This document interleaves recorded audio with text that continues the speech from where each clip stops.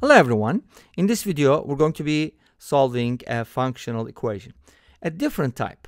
We have f of x squared plus f of x equals 25x squared plus 10x all over 4. And we're going to try to find an expression for f of x in terms of x. What kind of function are we dealing with here?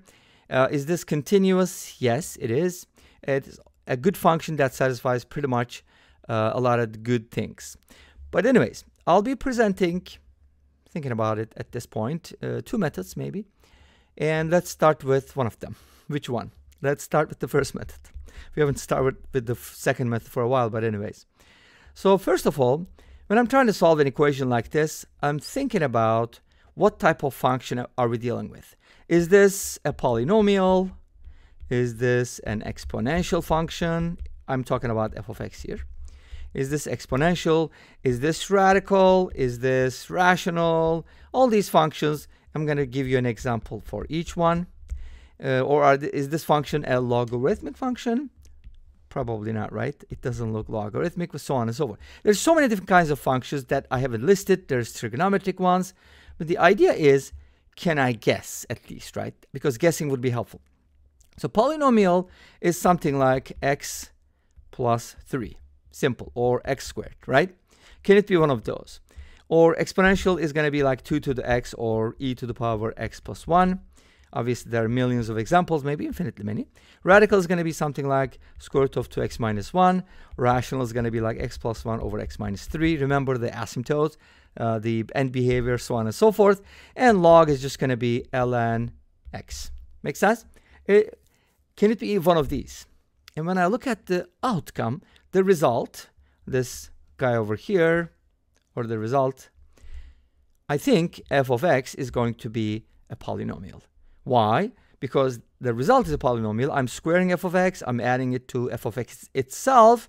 The result is a polynomial, so f of x is probably a polynomial. But guess what? This would be a really good question. Can we find a non-polynomial function that satisfies this? Anyways, this was a long intro. I just wanted you to think about some things. Hopefully this was a good brain teaser and let's get to work. So first method, I'm going to write the problem one more time because you probably forgot I did. f of x squared plus f of x equals, what was that? 25x squared plus 10x all over 4, right? Awesome. Now, I think this is a polynomial so I'm going to go ahead and replace f of x with a polynomial. But what kind of polynomial am I dealing with? Is f of x going to be a sub n x to the n plus a sub n minus 1 x to the n minus 1, so on and so forth. This is going to have a lot of terms. Imagine squaring something generic like this. Its square is going to be crazy. But you can find the answer. No big deal. It can be found. But when you plug it in, notice that you, you only need x squared and x. So let's be smarter than this and think about f of x in kind of less broad terms. f of x is supposed to be quadratic? No, because if you square a quadratic, you get a quartic plus linear quartic quadratic. It's not going to work. So since we have f of x squared and x squared together, this kind of means f must be linear. So I'm going to replace f of x with a linear function. How do you write a linear function? ax plus b would probably work, or mx plus b will also work. Okay. M is used for slope. That's why a lot of times people are going to write this as mx plus, but I don't care. I'm going to write it as ax plus b. ax plus b. So what happens to f of x squared in this case? You have to square ax plus b, and let's see what that gives us. That gives us a squared x squared, which kind of explains the x squared here. That's the only place that we're going to have it, plus 2abx plus b squared. This is f of x squared. And then let's go ahead and align this with f of x. I mean by align, I really mean align the same degree power terms. And then we're going to add these up. The left-hand side gives me what's on the right-hand side here, which is kind of interesting. 25x squared, the sum, plus 10x, right? Was it 10x? How do I easily forget that? Equals this sum is going to be, obviously there is no x squared term, that's why aligning is important, right? Plus 2abx plus ax, so that's going to be 2ab plus ax. and finally b squared plus b. Okay, great. Now at this point, I think multiplying both sides by 4 would be helpful because you don't want to deal with fractions. Come on, who wants to deal with fractions, right? Fractions are difficult. So now we get 4a squared x squared plus, I'm going to distribute the 4 here like this and like that, you know, here and here. That's going to give me 8ab plus 4a multiplied by x and finally plus 4b squared plus 4b. And doesn't that look like a perfect square to you? But anyways, that's a different story. Let's go ahead and move this stuff a little bit to the left so I can kind of um, manipulate better. And now we're going to compare. So what do you get from here? You actually get three equations. The coefficient of x squared is 25, the coefficient of x is 10, and the constant term is 0. Awesome. You know why it's awesome? Because we can factor the 4b. Wait a minute. I should have chosen 2b or not 2b. But anyways, you get the idea. This is equal to 0. So from here, I get two possibilities. Either b is 0 or b is negative 1. That's good. And then I'm going to be looking at the second equation. And that's 8ab plus 4a equals 10. If you want, divide both sides by 2.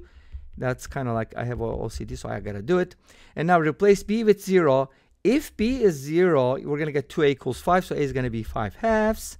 If b is negative 1, then I'm to get negative 4a plus 2a equals 5, which is 2a equals negative 5, and a is to be negative 5 halves. So they're kind of like opposites of each other, and these two make a good pair. We're going to plug it in.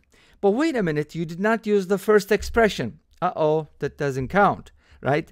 So the first expression actually confirms what we found because if 4a squared is equal to 25, a squared is 25 over 4.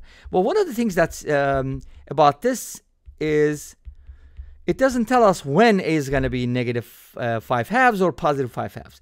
So using the second equation is a good idea because it kind of associates a and b values. Does that make sense? Okay, great. So let's go ahead and see what happens in each case.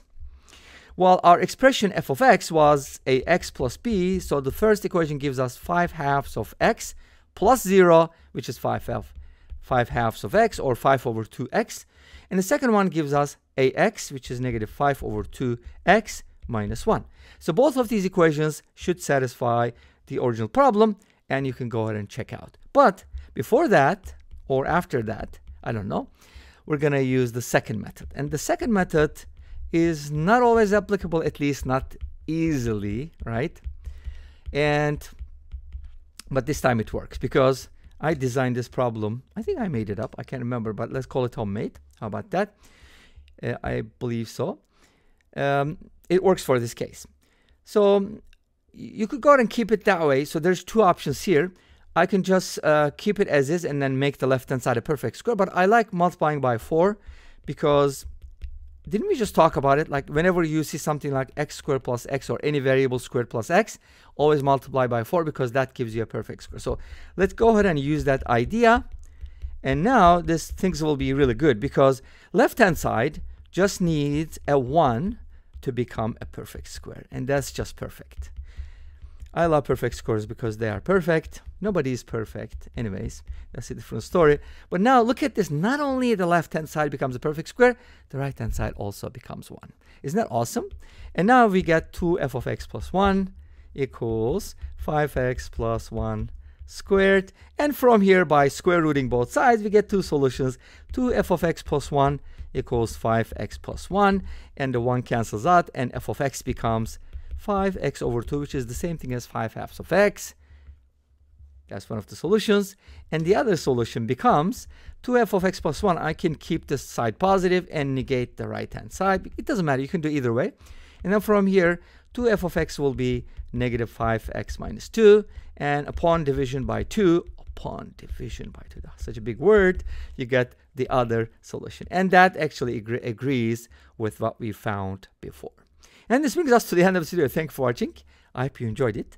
Please let me know. Don't forget to comment, like, and subscribe. I'll see you next time with another video. Until then, be safe, take care, and bye-bye.